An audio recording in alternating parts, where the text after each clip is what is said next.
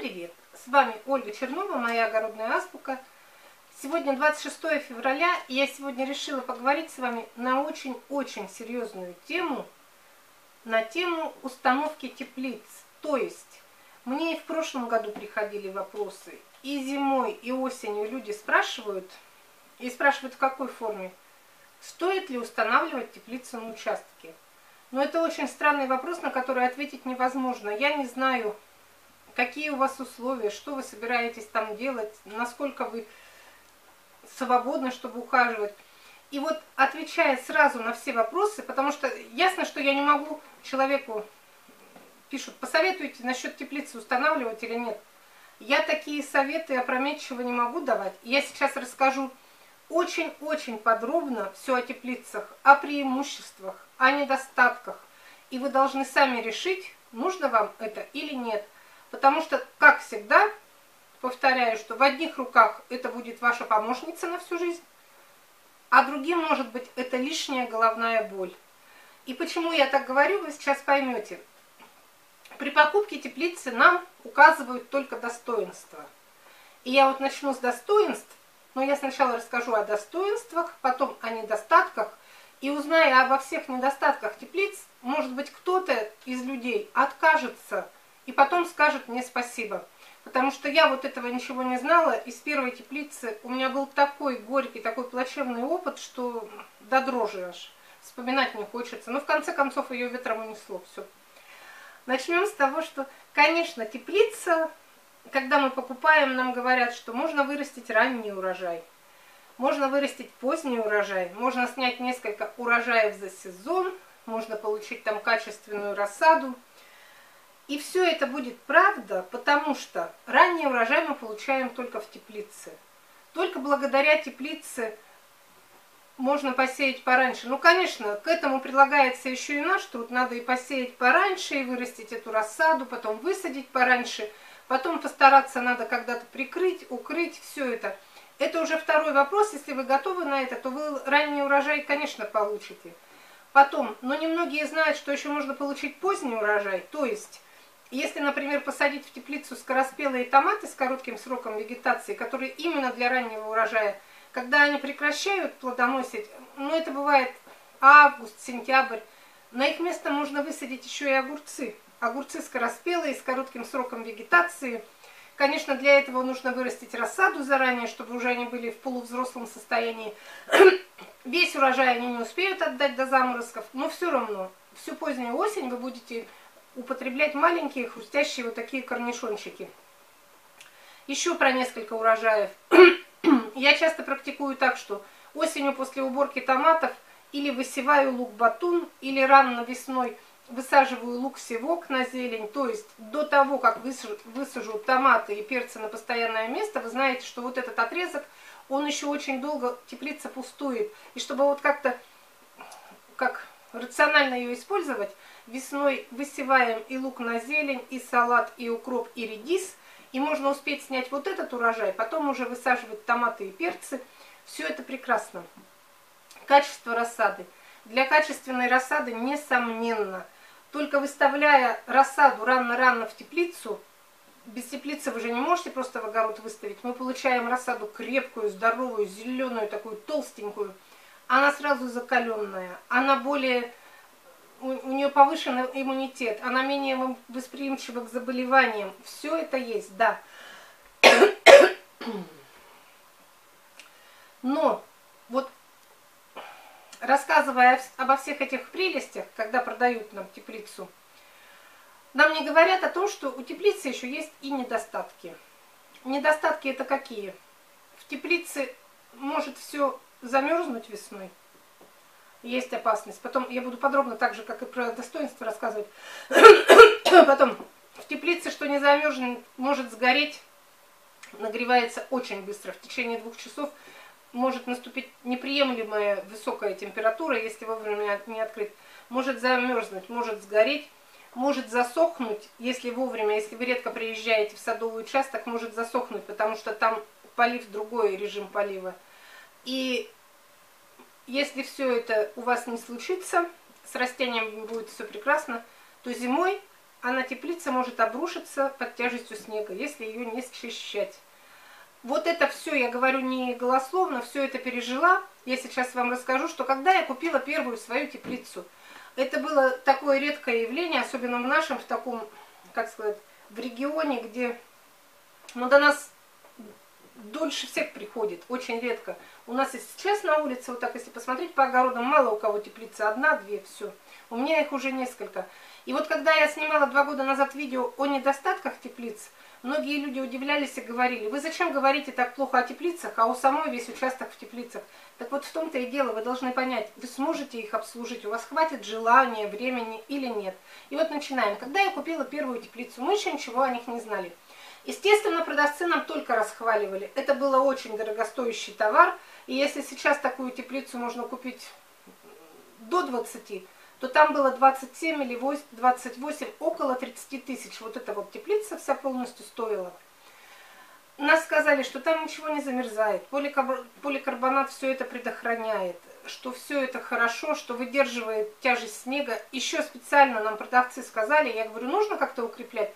Нет, нет, все это усиленная тяжесть снега выдерживает. И все, что они сказали нам, все было с точностью до наоборот. То есть Высадив весной вот эту рассаду, мы весной поставили теплицу, высадив эту рассаду, нам передали заморозки минус 5, минус 6. Хотя нас заверили, что ничего не замерзнет. Еще муж сказал, ну не поверю, ну как, там же будет холодно. Я говорю, нет, продавцы сказали, все нормально.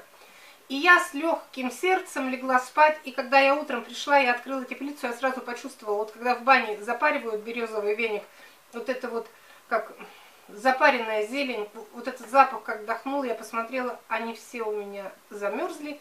По периметру замерзли вообще до самого корня, а по дорожкам, вдоль дорожек об, обмерзли макушки, и они остались живые, я их, ну на запас я, конечно, не посадила в то время, я не думала, и таких партий у меня не было.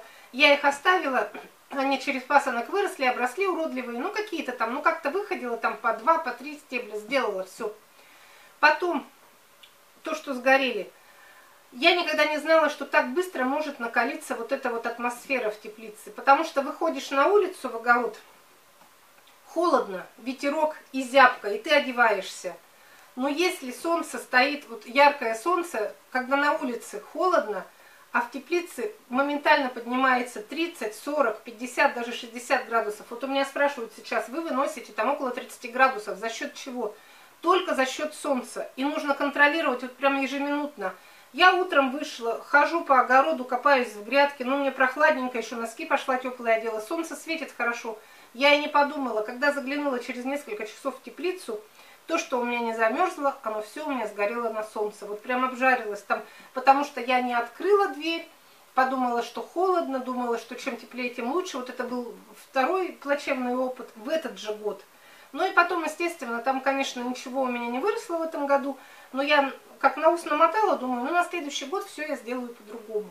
Но по-другому сделать не очень получилось, потому что в этот же год налепилась на нее снега, и она вот так, как коробочка, свернулась у нас. То есть те слова, когда меня заверяли продавцы, что не надо ничего усиливать, укреплять, но мы, так как люди были не очень богатые и очень упорные, он раскрутил муж все эти листы, ну, вот, они порвались все.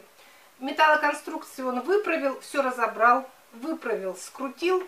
Листы мы сшили капроновыми нитками, вот так вот. И вот у нас вот эта Франкенштейн, она еще стояла два года. Естественно, что там нельзя было ранний урожай выращивать, там дырки в палец были. Ну как, ну просто заштопано, никакой герметизации не было. Единственное, там вот этот град, снег, когда шел, она предохраняла. И я там более поздний урожай выращивала, а для раннего урожая мы купили новую теплицу. И уже как по своим правилам мы теперь, мы теперь делали подпорки, бруски по центру. Каждую осень выставляли подпорки. Когда я высаживала ранний урожай, у меня там всегда стояла тепловая пушка. Купили тепловую пушку, которая на крайний случай передают заморозок, я на ночь включаю. Днем, конечно, там тепло. Днем, когда я, я повесила градусники, днем, когда я работаю в огороде, я проверяю температуру каждые полчаса. И иногда бывает несколько раз в день приходится открывать форточку, закрывать, открывать дверь. У нас такая погода. Сделалась пасмурно, там моментально падает температура сразу. надо сразу закрывать все двери, чтобы оставшееся тепло не улетело, чтобы они не простыли, не замерзли.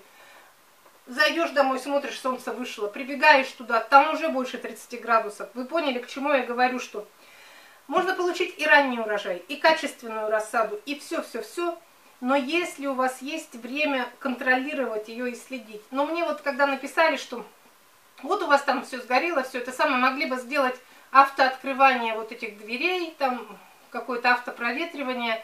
Но есть люди такие умные, конечно, может быть, они живут где-то когда мы покупали, ни о каком автопроветривании у нас речи даже не могло быть. И когда вы покупаете теплицу, вы сразу соотносите свои возможности материальные, физические. Будете ли вы за ней следить? Будете ли вы открывать ежедневно, закрывать? Естественно, что высадив на ранний урожай и уехав в город, например, на целую неделю, ничего там у вас не получится. Нужно открывать, закрывать. И даже если вы хотите, например, ну как вот эти советы про автопроветривание, там, автооткрывание, закрывание. Готовы ли вы к дополнительным материальным затратам? Потому что все это недорого, и до сих пор у меня нет ни автооткрывания, ни авто вот этого проветривания, когда вот сами они, вот эти створки открываются.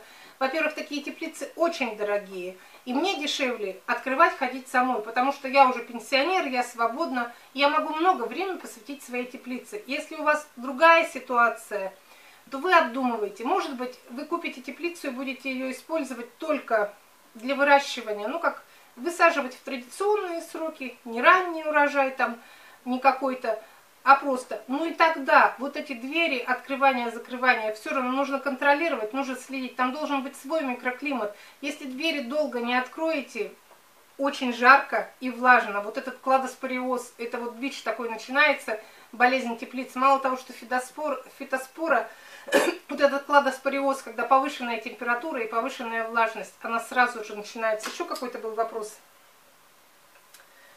Так. Ну, тут уже про сейчас про рассаду. Конкретно я отдельно сделаю. Вот, короче, из недостатков такое. Может замерзнуть, если не будет подогрева, не будет э, дополнительно вот это укрытие. На одну теплицу надеяться тоже нельзя. Может сгореть, если вовремя не будете открывать-закрывать. Может засохнуть, если часто не будете поливать, если не будете, опять же, контролировать. Может зим, зимой обрушиться, хотя многие как пишут, ну можно просто очищать снег и все. А если оно на садовом участке стоит? А если, например, с вечера начал, начал выпадать снег, и бывает снег такие огромные хлопья, вот у нас было мокрые, липкие, и они не сваливаются, а именно наклеиваются, наклеиваются, наклеиваются. И он очень тяжелый такой снег, к утру она уже может обрушиться. Это то есть установка обязательно каких-то или этих усиливающих ребер, вот так делают, приваривают некоторые даже. Смотрите по конструкции. Если вам некогда счищать снег, то нужно или, э, или первое, или второе, ну, короче, какие-то усовершенствования. Все. Вот это я вам рассказала. Конечно, Теплица – это вот огромный помощник. Только в теплице можно получить ранний урожай. Именно в теплице мы получаем первый огурец, первый помидор, первые радости, вот это первая зелень, первый салат. Вот я сейчас весной буду сеять, покажу вам. Вокруг еще лежат сугробы, смотришь, «А, уже лук, салат вырос. Ну это такое удовольствие. Ну, конечно, за это мы расплачиваемся. Расплачиваемся своим собственным временем, своими хлопотами. Я вот позапрошлом году показывала, как я ночами шарюсь по своим теплицам. Высадишь пораньше, а у нас сибирский регион, передадут мороз 2-3 раза за ночь. Я прям будильник завожу в 12, в 2 часа ночи, в 4 ночи. Я хожу туда и смотрю. Потому что на крайний случай, вдруг, если температура понижается, то может, нужно туда что-то, может быть, еще тащить. Даже и свечи устанавливала всякие разные. Лишь бы вот одну ночь пережить. У нас как бывает, одна или две ночи, которые решающие, которые все решают. Вот надо именно быть там с ними, с этими растениями. Ну вот, я, я надеюсь, что кто интересуется кто интересовался, вот стоит ли ставить теплицу, я теперь вот всю картину обрисовала, что есть у нас не только сладкое, есть у нас и горькое, и если, если вы действительно, если у вас есть время, а главное, есть огромное желание, есть любовь к растениям, то теплица, конечно, она незаменима. У меня у самой стоит 5 теплиц, я все по одной, мне все мало-мало. Сначала только для томатов, потом думаю, ну чем огурцы хуже, потом для огурцов, потом специально выделила для перцев. Потом долго, много лет носила идею, вынашивала в голове вот эта придомовая теплица. Это вообще мечта огородника, такого очумелого, как я. Я жила бы там. Я весной выхожу утром и захожу ночью, вот так по ступенькам заползаю, ложусь в таком удовольствии и начинаю мечтать, как я завтра утром встану и пойду в теплицу работать. Это счастье для пенсионеров. Все, до свидания. С вами была Ольга Чернова. Перед тем, как купить теплицу, побеседуйте со своими домашними, будут ли вам помогать или нет. Вот у меня все на работе, мне очень сложно. Я вот так вот челноком по этим теплицам бегаю всю весну. Но я бегаю, потому что я получаю от этого удовольствие. Хотела кого-нибудь еще из своей семьи приучить, заставить полюбить растения. Невозможно, не получилось. Все, до свидания.